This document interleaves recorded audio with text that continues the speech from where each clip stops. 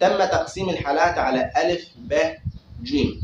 ألف خدت مبلغ وب خدت مبلغ وجيم خدت مبلغ.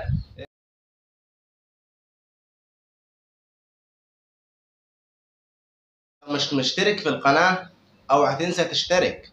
وأنا بفكرك لأن أنت ممكن تكون الصيام تعبك في آخر رمضان وناسي تشترك في القناة. لا خلي بالك أنا مش هسامحك كده. لازم تشترك في القناة. يلا دلوقتي اشترك في القناة واعمل لايك عشان تدعمنا وده بيشجعني أنا إني أنا أستمر في الفيديوهات.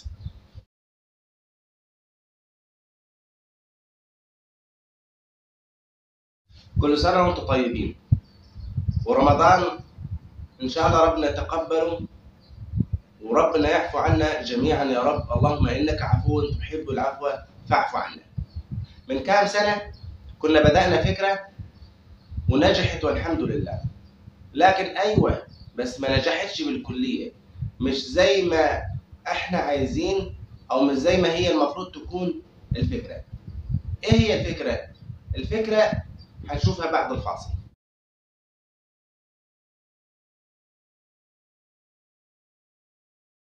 فكرة جمع زكاة الفطر. فكرة جمع زكاة الفطر. يعني إيه زكاة فطر؟ زكاة فطر زكاة الفطر اللي أنت بتطلعها في رمضان في شهر رمضان بالأخص هي صدقة مفروضة على كل مسلم بيطلعها في شهر رمضان عشان خاطر تحمي صيامه أو هي طهرة للصائم طيب إيه الفكرة؟ الفكرة إن إحنا بنجمع زكاة الفطر وبعدين بتبقى مجمعة ونوديها للفقير طب أنتوا مين؟ إحنا ما حدش إحنا ناس متطوعين بنساعد على نجاح فكرة. طيب ما كل واحد بي بيودي زكاة فطره بنفسه.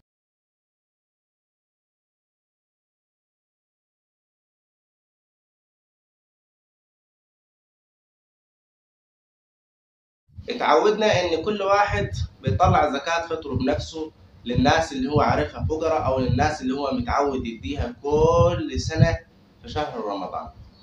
بس الفكرة لما إحنا بدأناها من كام سنة كان ليها سبب وكان ليها هدف. الهدف أو السبب اللي خلانا نبدأ نجمع في زكاة الفطر لمن يريد جمعها أو لمن يريد اعطائها للناس دي إن في فقراء مش بتوصل لهم الزكاة.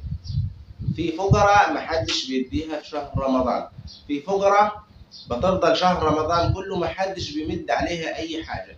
يعني انت مثلا ممكن تكون متعود بتديه لحد معين قريبك سواء كان فقير أو مش فقير ما نعلمش لكن بتديله كل سنة. ففي فقير محتاج عفوف مش لاحق أو محدش بيديله الهدف من الموضوع إن إحنا بندرس الحالة ونقسم الحالات نشوف عدد الفقراء ونشوف الفقير ده حالته إيه. وخاطر الزكاة دي سواء جات 1000 جات 2000 جات 3 أي حد طبعا بيدينا بنلم منه. بتتوزع على مستحقين أو على الناس اللي تم دراستها جيدا. طيب لما كل واحد بيوزع زكاة فطره بنفسه مفيش مشكلة. أنا قلت لك ده مفيش مشكلة إحنا تعودنا عليه وفي أي مكان ممكن يكون كل واحد بيوزع زكاة فطره بنفسه وهو شايف الأحق أو ما شايفش دي حاجة براحته أو هو وكيل ربنا سبحانه وتعالى.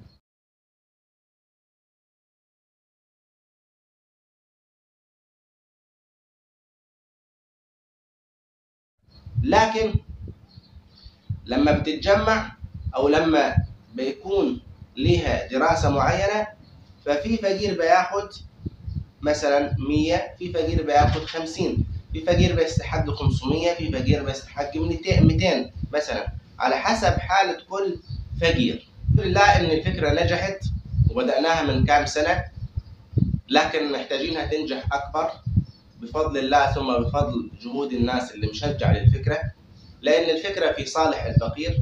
وسبحانه وتعالى ان ربنا سبحانه وتعالى حيسألك عن الفقير اللي هو جارك وما سألتش عليه. هيسالك عن الفقير اللي هو محتاج الصدقة دي وأنت ما بحثتش عنه واديته زكاة فطرك.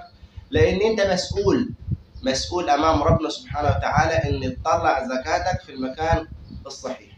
فالمتطوعين دول بيساعدوا الناس عشان خاطر يبدأ نوزع زكاة الفطر على المستحقين أو عشان خاطر عدم التكرار. زي ما أنا قلت لكم لأن كل واحد لو وزع زكاة فطره بنفسه ففي فقير بيلم زكاة فطر كثيرة وفي فقير محدش بيديله.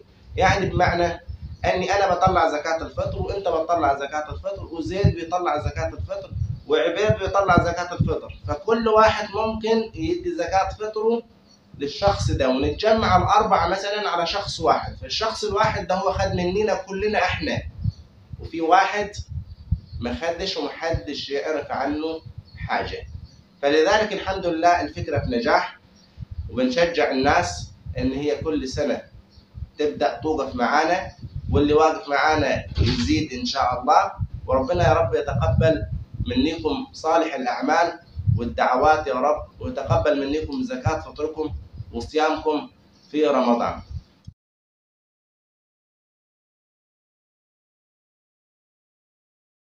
في النهاية الحمد لله آه تم توزيع المبلغ على مستحقيه تم دراسة الحالات. إحنا طبعا بنبحث الحالات الفقراء دي قبل رمضان بشهر عشان نقدر نجمع تفاصيل عن الفقير أو نجمع تفاصيل عن الشخص اللي هو هيستحق أو ما يستحقش. على حسب اللجنة ما تشوف التفاصيل بتاعته في زكاة الفطر. فالحمد لله يعني آه تم بحث الحالات جيدا وتم آه وضع دراسة ليها وتفاصيل كافية عن كل فقير هو بيتقاضى إيه أو هو بياخد إيه أو هو حالته إيه أو هو إيه ظروفه أو بيمر بإيه. والحمد لله تم دراسة الحالات. وتم توزيع أو تم جمع مبلغ الحمد لله لا بأس منه. يعني يعتبر كويس. يعني آه شمل أكثر من 48 أو 49 أو 50 حالة فقير اللي هم تقول عليهم فقراء اللي هم تقول عليهم ان هم يستحقوا بكافة المعايير.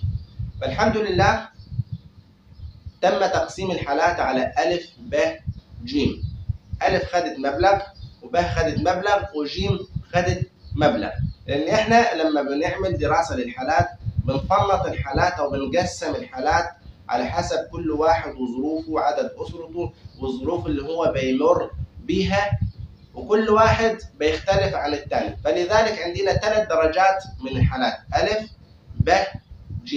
وبناء على كده تم توزيع المبلغ والحمد لله.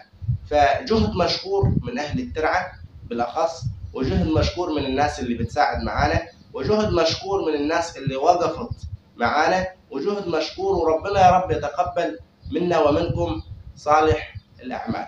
السلام عليكم.